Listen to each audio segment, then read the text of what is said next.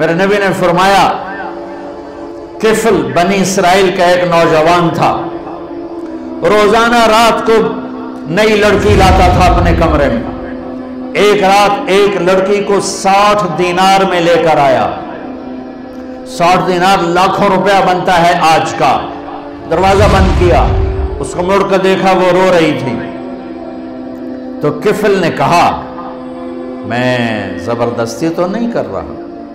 सौदा किया है। उसने रोते हुए कहा किफल इज्जतदार हूँ, पेशावर नहीं हूँ। गुर्बत ने यहाँ तक पहुँचाया है कि इज़्ज़त बेचने पे मजबूर हो गई। उसने कहा किफल इज्जतदार भूख ने जिसम बेचने पे मजबूर किया तो किफल रोने लगा।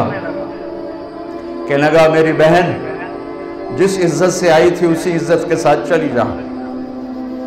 और मेरे लिए दुआ करते मैं बहुत दरिंदा इंसान और जो तुझे पैसे दी, बहुत बड़ी रकम थी ले जा, तुझे हदिया है।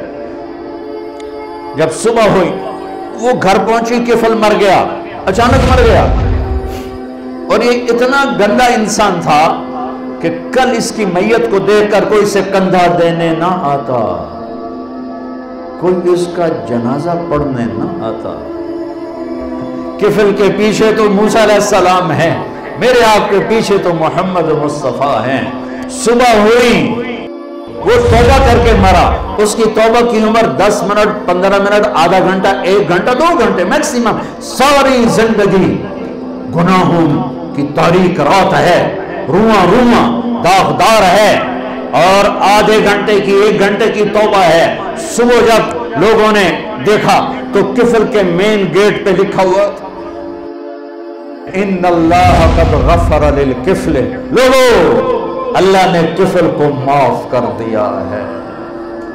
ये क्यों लिखवाया था? ये इसलिए लिखवाया था कि हम किफल को माफ़ कर चुके हैं। जाओ। उसके गसल में, दफन में, जनाजे में शिरकत करो, इज़्ज़त के साथ हमारे पास पहुंचाओ। ये मेरा अल्लाह है, ये मेरा अल्लाह है, ये मेरा अल्लाह है, रहीम करीम और रहमान।